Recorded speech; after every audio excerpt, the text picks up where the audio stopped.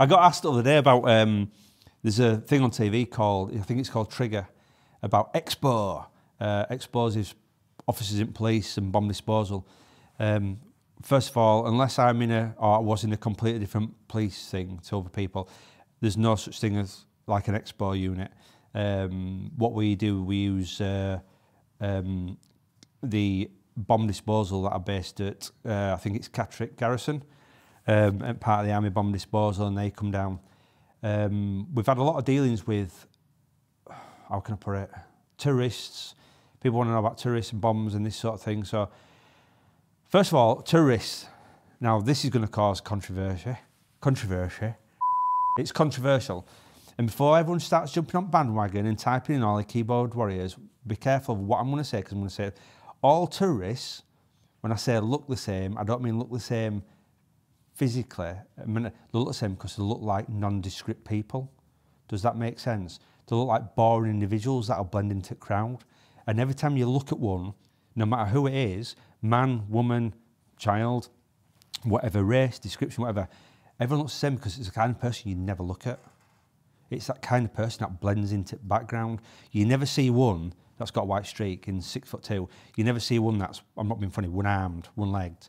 Everyone just, it's one of those things that you could walk into a room of a thousand people, you'd never ever pick one out. And I think that's why they're so good at what they do because um, everyone I've ever have information about or they've, they've come across for certain reasons. I mean, I know where the tourist cells are. We've dealt with tourists before. We've had we've had to escort tourists um, to different cells. Um, and like when you have oh, I can't word, suspicious packages that come in, um, when people always say, right, there's some, so what happens is a job comes in and they'll say there's a suspicious package at a train station or something like that. They'll send you and you're meant to have a bit of a look at it. So you do a bit of training before, you do some one-on-one kind of things. People come in and do a, a training session with you about bombs and all this sort of thing. So you have a rough idea of what. To, don't get me wrong, you're not going to unzip it and look at it. But if you just think, yeah, this, is, it could be someone's fish fingers. Left, like, you know, Maureen's left her fish fingers while She's going to see Mrs. Miggins. Mrs. Miggins is back again. You, you know what you're looking for roughly. And if it's something you're not happy with, you can't see enough, you've got to have your radio switched off, you, you don't have your phone on, nothing with any airwaves, transmission or anything like that. Um, you call it into Hobart and the next thing you know, the, dispatch, bomb team from Catterick now. I don't know what bomb team are like when they're at Catterick, but you can imagine them getting that call, can't you? And they're, they're all sat around, mucking about, and like, calls come in, we're going to Keighley. Right, what's going on again? Right, and they're running past this store, and like, do we get nitroglycerine? Do we get Semtex? Do we get, oh no, let's get, and the Lord didn't pack up of what they want to get, and, and all charges and this sort of thing. Then they fly down at 56 miles an hour in the, in the van, and Mrs. Miggins overtakes them in, in a little maestro, but they're all there ready to rock and roll. And, uh, and they get there, and these guys that come down are so talented. They know everything about every sort of ordnance, bombs, every sort of like explosive device. It, it's brilliant to watch them in motion. There was once a job at Keith where there was someone on someone's car, um, and they, I think they had to detonate it. But it's always this thing of we're going to blow it up. I think we're going to detonate. We're going to do a safety uh, detonation. And like, do you not want to try? No, we'll, we'll, we'll blow it up. So it's like, get explosives out, lads. And then whatever they can do, they'll, they'll like, they'll cover them over or send robot out or whatever. And if they can blow them up, they'll sandbag it and they'll, they'll blow them up. But they're experts, not me. But when you watch them doing what they do, they're, they're absolutely fantastic. But yeah, so you've got to look at the, uh, you've got to look at the, the device or whatever it's like. People will ring up and say, I've got an hand grenade I found in my back garden or a World War II bomb. So I won't have a clue what a World War II bomb looks like, but I've seen a cartoon picture of a bomb.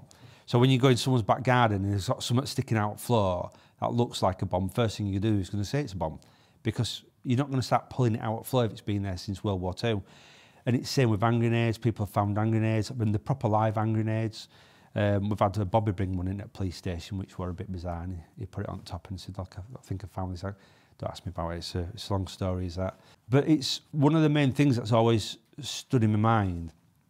Because um, other, other day I did a talk about auditors, and first of all, I want to, I want to say I'm sorry.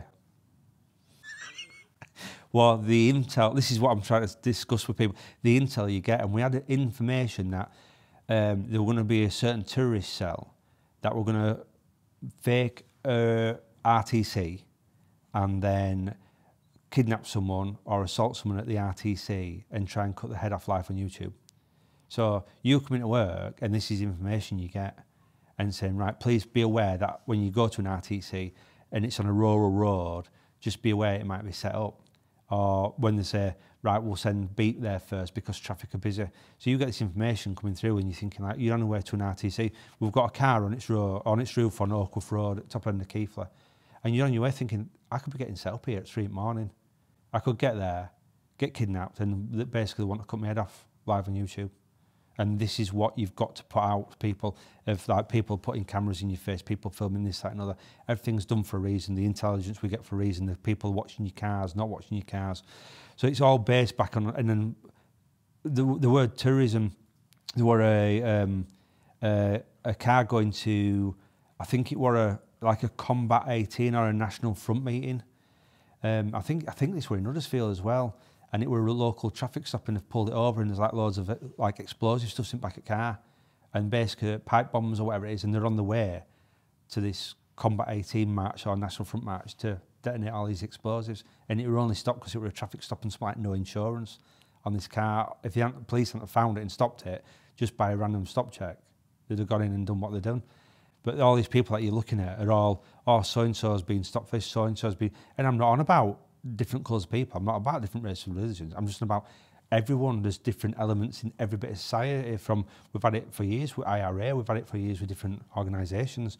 But the word tourism strikes fear into people, instant fear into people, because it can happen any place, any time. You can be at any, and we've we've already seen where we went down to London at Christmas, me and my family.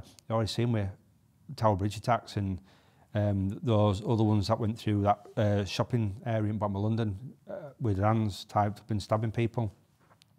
We've got Manchester bombing at Ariana Grande concert and things like you, you can be at just a random place at a random time and these people just blend into background. These people just don't stand out. Um, and it's a it's a scary world out there. But yeah, the amount of packages we go to and the amount of things that get detonated by the armed bomb disposal people from Catrix, phenomenal. RLC, Royal Logistics Corps. Yes. How do you know that? Are you a, are you a, a, an ex? Uh... yeah, I don't know if you know Josh's ex Navy as well.